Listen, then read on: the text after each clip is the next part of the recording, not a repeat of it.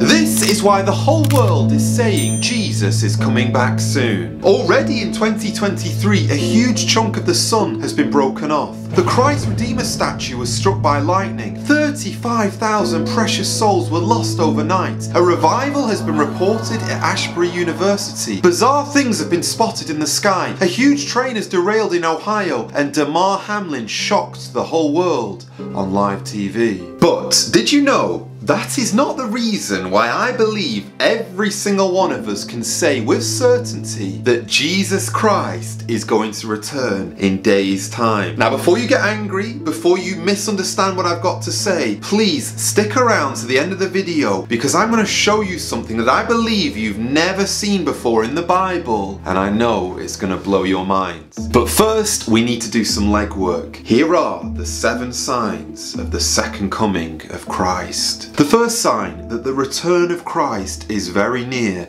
is there will be many false Christs. The Bible says, For false Christs and false prophets will rise and show great signs and wonders to deceive, if possible, even the elect. You know as well as I do, there's always been counterfeit Jesuses. There's always been people who have claimed that they are God. But mark my words, there will be many more who will arise. But not only will false Christs arise, but there will be other people who, okay, they won't claim to be Jesus Christ, but they will seek to take Jesus' throne. Everybody wants to be a saviour. Everybody wants to find solutions to the world's problems. Everyone wants to solve things politically. And just like when Jesus Christ came, he performed miracles. There'll be people who try to emulate the miracles of Christ. Just like Christ heal people, there'll be people who are claiming that they can also heal the sick. Just like Christ knew how to control the environment, there'll be people who are saying, yes, we too can control the environment. And just like Jesus Christ changed the world, there'll be other false saviors who will try to change the world. Yes, they will sacrifice themselves, not for the good of mankind, but for the good of themselves. They will die for Mother Earth. The second sign that the return of Christ is near is there will be wars and rumours of wars. But come on, Joe, hasn't that been happening for 2,000 years? Well, if you truly believe that, you really do need to stick around to hear about this Bible verse that proves that the return of Christ is only days away. But actually, yes, although there has always been wars and rumours of wars, you need to remember this will happen more and more. Just like birth pains, how when a woman is about to give birth, the birth pains, at first they're spread apart, but then they get closer and closer and more and more intense until the birth comes. And just like the return of Christ, as it gets nearer and nearer, we will hear of more wars. There'll be more allies, more unrest, more fightings, but it will happen on an international scale. And it doesn't matter how many peacemakers, doesn't matter how many political men in suits try to keep the peace, no peace will ever be found on earth because these things must come to pass before the Lord Jesus Christ returns. And the third sign that the second coming is near is there will be an increase in natural disasters. Right now, as we speak, there are over 30 million people who experiencing alarming levels of hunger. Right now, as we speak, our hearts go out to the Middle East as there are so many people who've been shaken by what has just happened to them and they are trying to pick up the pieces and get on with the rest of their lives. Right now, as we speak, do I need to remind you of all of the craziness of everything that happened in 2020? The truth is, this world is trembling right now, and it doesn't take a genius to notice it. Have I got permission to say this? As I look out at the world and I see all that's going on around, I've got to say, can our earth handle much more disaster? Is it any wonder that in the Bible it says, when the men and women see the judgment of God fall on the earth, the Bible says that men's hearts will melt. Men's hearts will fail them because they realize that the world they have lived in for so long is crumbling before their very eyes.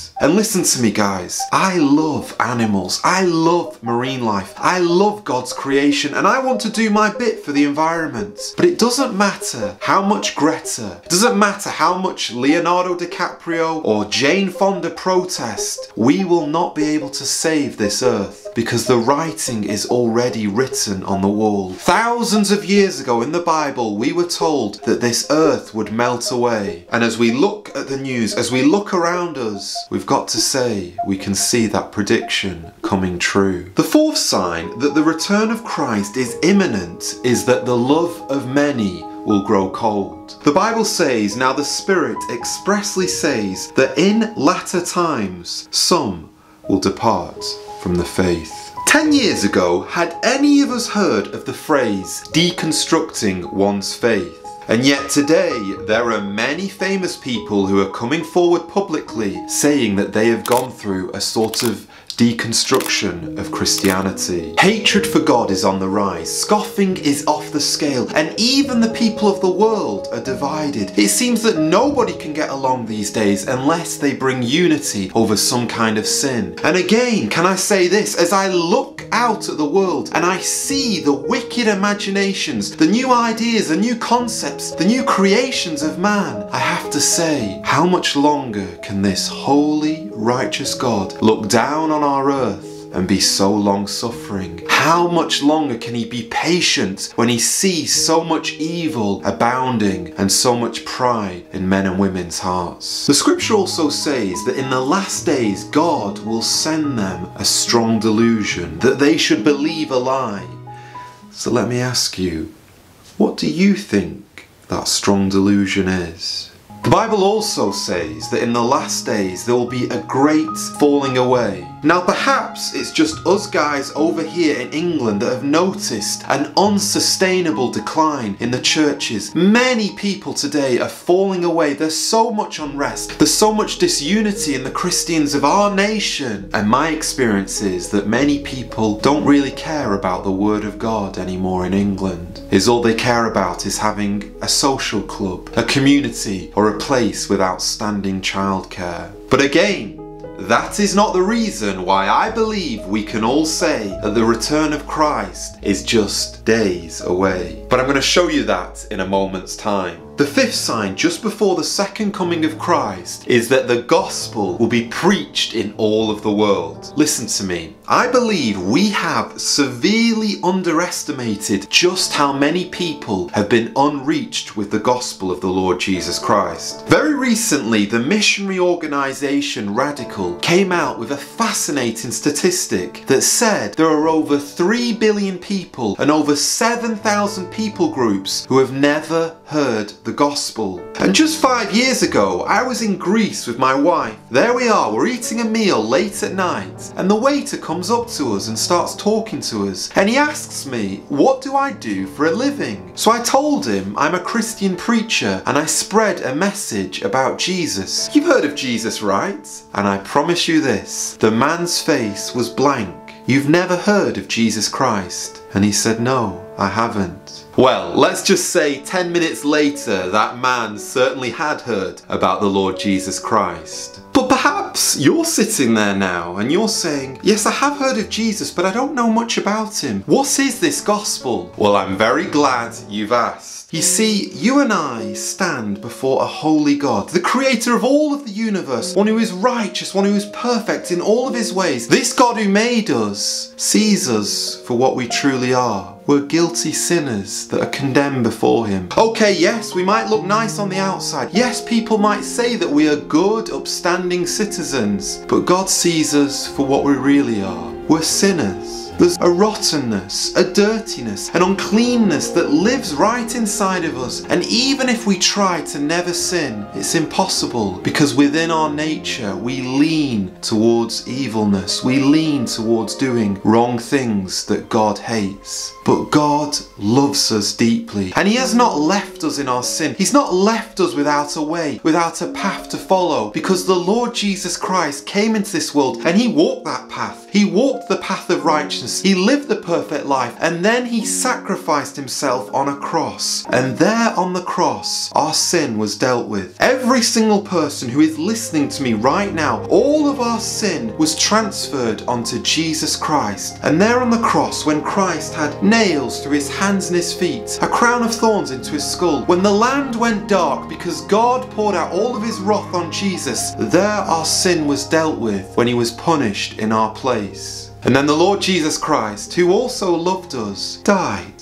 and he was buried, put in a tomb. But then on the third day, the Lord Jesus Christ did the impossible. He rose from the dead, proving that he's not just any man. He himself is God in a skin, and he himself is worthy of worship. And he alone is the one who can forgive us of our sins. Because when he shed his blood on that cross, that blood can wash us whiter than snow. And we can trust in that because we see that this man is someone special who can beat the grave. And when Jesus Christ says, I can give you life, to the full, abundant life, we know that we can put our trust in Him and have eternal life in Him alone. So, I need to ask you now, as you hear that message, the gospel, what will you do with it? What will you do with this man Jesus who commands that you turn to him, turn from your sins, and put your faith in him alone, the Saviour of the world? But hello! Because Jesus is alive, part of this gospel means that he must come back again. The Bible foresaw this thousands of years ago. It says in the book of Zechariah, and in that day his feet, Jesus' feet, will stand on the Mount of Olives, which faces Jerusalem on the east, and the Mount of Olives shall be split in two. You see, when Jesus returns, he's quite literally going to split the world in two. All the men and women of the world will tremble when they see him. This will not be a secret event. No, every eye will see him stand on the Mount of Olives. And you know, the first time when Christ came on this earth, he allowed men and women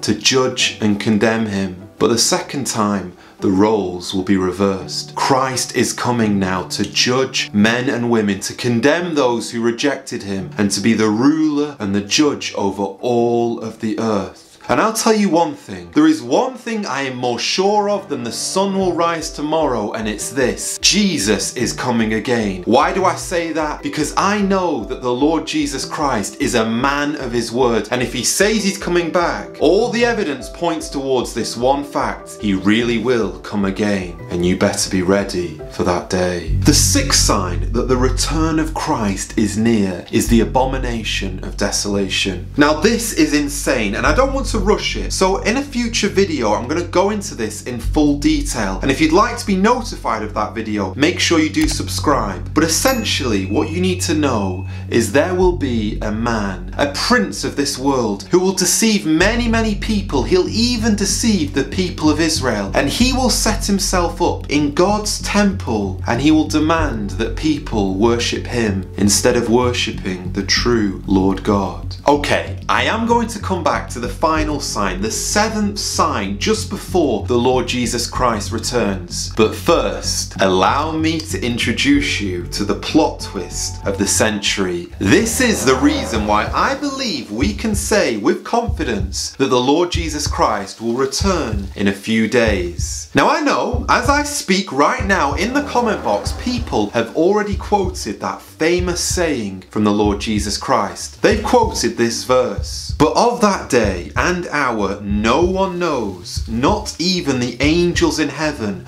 nor the Son, but only the Father. And they're right. Only God the Father knows the precise hour, the precise day when the Son of God will return. So Joe, what are you talking about? Do you remember in the Garden of Eden when God gave a warning to Adam saying, if you eat of that forbidden fruit, this will happen? Listen to what the warning was. But of the tree of the knowledge of good and evil, you shall not eat. For in the day that you eat of it, you shall surely die.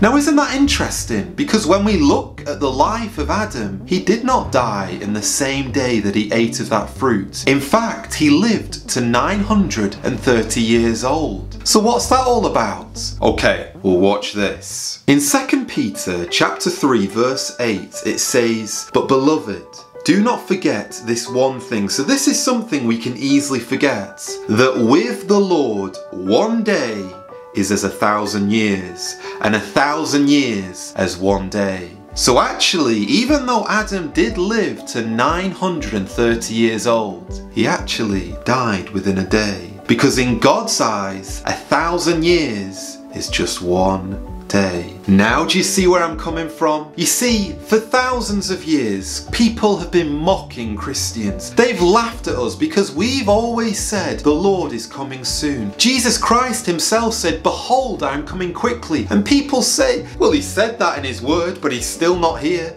That must mean that the Bible isn't true. That must mean that your Christianity is false. But actually, Jesus is coming quickly because in God's eyes, those 2,000 years have just been two days because a day is like a thousand years before the Lord. And okay, you are right. None of us know None of us know when the Lord Jesus Christ will return, not even the angels in heaven. But there's one thing we do need to know, and it's this Are we ready for that day? When the Lord comes like a thief in the night, are we ready? Because the Bible says, Prepare to meet thy God. Prepare for that day. And right now, God is giving you a second chance before his second coming. Right now, there is an opportunity for you to be saved. And one day, that door which is open today will be shut forevermore. And then you will really understand just how long eternity is. Then you will understand that yes, a thousand years is but one day. This infinite God who looks down on all the earth, who looks down and sees world history and sees it's just a drop in the ocean. And I really do pray that you will be on the right side of eternity with the Lord Jesus Christ because you too have repented and believed on his name alone for salvation. But hello, what is the seventh sign? What is the final sign before the second coming of Christ? Well, I don't want to rush this right now, so if you want to know all about it, check this deep dive, this video, and you'll know what people will see just before Jesus comes again.